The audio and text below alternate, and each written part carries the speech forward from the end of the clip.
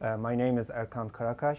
I'm an assistant professor at the Department of Molecular Physiology and Biophysics. I'm also a member of Center for Structural Biology.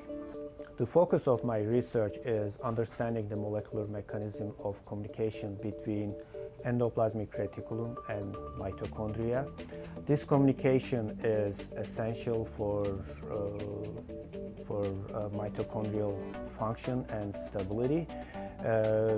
This communication is used to transfer chemicals such as lipids or calcium from one organelle to another.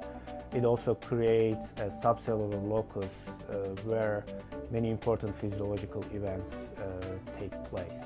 We are uh, particularly interested in proteins that mediate this contact and also proteins that uh, mediate calcium transfer from ER, endoplasmic reticulum, to mitochondria.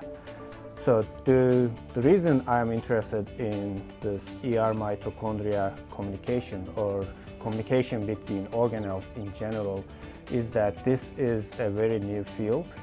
We only started to understand how they are mediated and they function within the last decade. And there are many questions uh, that we don't know the answer yet.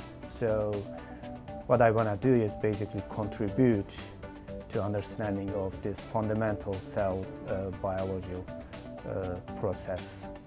My advice to students or postdocs entering to this field is uh, be persistent. Uh, it usually takes time to, to get some exciting or breakthrough moments, but to get there you have to persistently work and, uh, and just be patient with, uh, with the outcome of the research. And also at the same time, I find it important for, uh, for young people to celebrate small accomplishments, uh, like to properly run an experiment with the appropriate controls. Um, you're not gonna have a major breakthrough every day, but if you wait for that, it may be it may be depressing sometimes. So it's important to, you know, to be able to celebrate those small accomplishments too, so that you can, you have energy or, or morale to, to push forward for the next big thing.